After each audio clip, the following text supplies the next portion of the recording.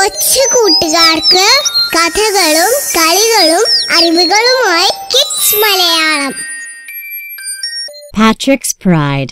Written by Julie Ann White. Illustrated by Linda Silvestri.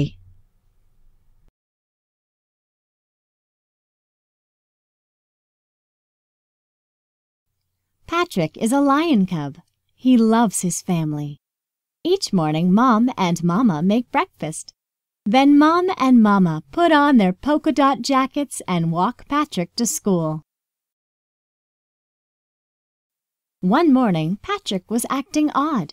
He did not eat his breakfast. What's wrong, Patrick? asked Mamma. Can I walk to school by myself today? Patrick asked. Mom and Mamma were sad.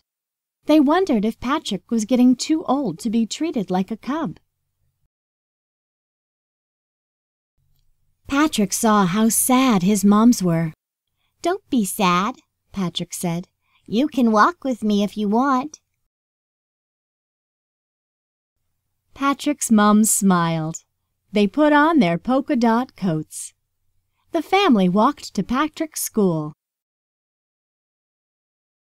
When they got there, Mom and Mama saw a big sign. It read, Bring your parents to school day. Is that why you didn't want us to walk you to school today? Mama asked. Do we embarrass you? asked Mom. Other kids were in the playground with their moms and dads. Some of them stared at Patrick and his two moms. Patrick sighed and looked down. Patrick, said Mom, every family is different. Some have one parent, some have two. Some have a mom and a dad. Some have two moms or two dads. We are lions.